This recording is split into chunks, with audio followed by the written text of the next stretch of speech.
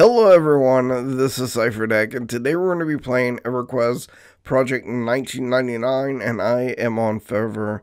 We are with Paradigm Shift, my guild, and we're heading into Fear. Now, I haven't been here since the early 2000s, like 2002, 2004, uh, which is whenever I left originally and went to EverQuest 2. So we were here for some epics and we just were here for loot as well. Now, one thing I didn't remember uh, was that how how low quality of equipment uh, Fear was versus Velious. I mean, there's such a huge jump from Velious or to Velious from uh, planar armor, especially for casters. Now, I did end up going ahead and getting the bracer that drops here for casters, and it was not an upgrade so much, but it was a, uh, it allowed me to put mana in my wrist slot while I could go ahead and sell a um, an intelligence item.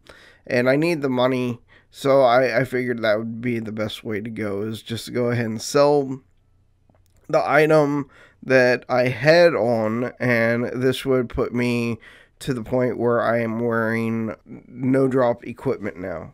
Now, that said, hopefully we'll be doing TOV soon, and I'll be able to get the bracer there. But until then, I have this not so great bracer that dropped here. And I'm not complaining about it because, again, it was a really nice item and uh, yeah, so we were here for probably a good three, four hours, about two hours in once we had cleared the zone. Um, they said that the the broken golem was up and that if any wizards needed it for their epic then uh, then we could do that. Was, I was the only wizard here so i was frantically trying to find a friend of mine who had uh, the necklace that could bypass the faction for the quest, went and got the sprocket, came back, and we ended up killing the golem. And that will be at the very end of the video. But we ended up um, killing the golem. I gated back to the guy that you hand the stuff into. And I did not use the faction um, click on the necklace before I tried to turn it in, and I ended up losing the staff. so um, I petitioned in game, and I also petitioned on the server for some reason. Um, and I I don't know if I did it wrong or if I'm not remembering correctly. But the username and password for for the game is that not the same as what's on uh, the Project 1999 forums? Because for some reason I cannot get access to the forum uh, username and password that I use for in game.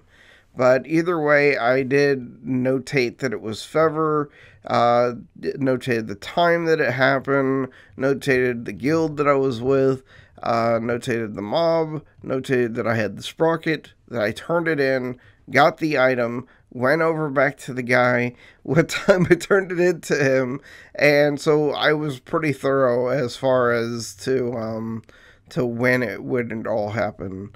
Hopefully they they found my post and uh, will get it resolved. Um, because that would be fantastic if I could get that staff. That's a really, really nice staff. It's a massive upgrade from the staff of the wheel, which I've been carrying since level 9.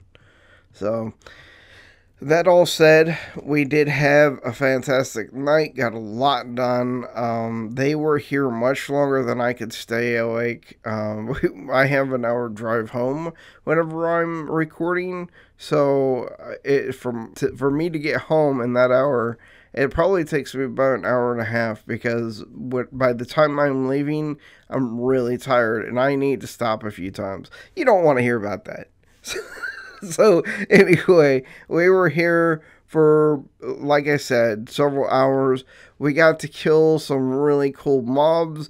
Let me tell you, out of all the mobs that we did kill, the Enraged Golem had the most hit points, and uh, it was really nice seeing how well our guild works together because the enraged golem uh, was very highly resistant, but the melee uh, work that we did, having our tank move the mob around in a circle while everyone else we had it looked like we had like 30 or 40 uh, melee right behind the mob and it, it died in a good amount of time. I mean for its hit points i think it has what 30 or 60,000 hit points something like that so it, it, while it did take a little bit of time because we couldn't cast on it or couldn't get our spells to land, um, the melee definitely did their job and took them down pretty fast.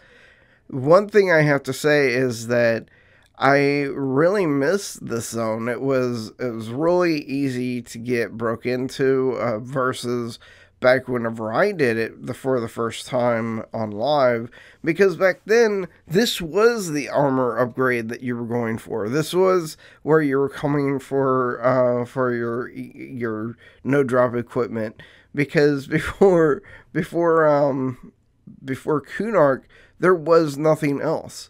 And then whenever Kunark came out, then you had those raids. Those raids yielded you better equipment, but until those raids came out, this was the better equipment to have. And for you not to have that equipment, you, that meant you were coming in with whatever you could afford. And now you you have to think about that and think about how hard this zone was at that point. What, what we were doing here, we were doing Fear the way it's supposed to be done. But whenever you're talking about uh, tanks that have probably um, I'd say 500 to um, a thousand hit point difference. Uh, also talking about uh, weapons that don't have the the amount of damage and delay, don't have the procs that they do, because most everyone is now to the Velious portion of their of their character. I mean, even myself, I'm getting to that point. I have um, multiple parts for uh, Sky Shrine. I have a benevolent robe that I'm I need to turn in.